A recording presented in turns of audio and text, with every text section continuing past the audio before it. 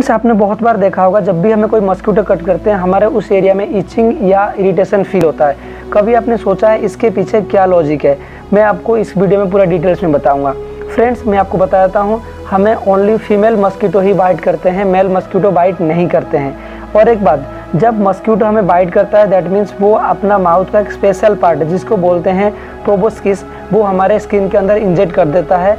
उसके साथ साथ ये सॉफ्ट हो जाए स्किन इसलिए एक वन टाइप ऑफ़ सलाइवा हमारे बॉडी में इंजेक्ट करता है, जिसको रिज़ल्ट के हमें ईचिंग एंड बम्पिंग फील होता है। एंड फ्रेंड्स बताता हूँ, हमारा बॉडी में जो इम्यूनरी सिस्टम है, उसका एक पार्ट है हिस्टामिन जो कि इस एरिया में आके वाइट ब्लड सेल को भेज के इस एरिया में एंटी डिज़ीज़ क्रिएट करता है एंड एंटी इन्फेक्शन क्रिएट करता है, जिसके वजह से हमें आगे जाके कोई भी इन्फेक्शन नहीं होता।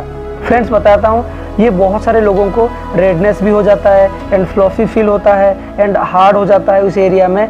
अगर आपको इसके ज़्यादा फील होता है एंड कुछ भी होता है देन आपके लिए एक सोल्यूशन है। मैं आप उसको ट्रीटमेंट बताता हूँ, आपको क्या क्या करना चाहिए।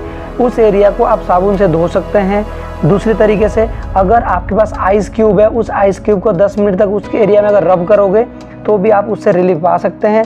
सबसे इम्पोर्टेंट चीज़, अगर आपके पास बेकिंग सोडा है उसको आप पानी में मिला के उस एरिया में अगर धीरे धीरे रब करेंगे या सिंपल लगा भी देंगे, तब क्या होगा? ना, उस एरिया में इचिंग नहीं होगी।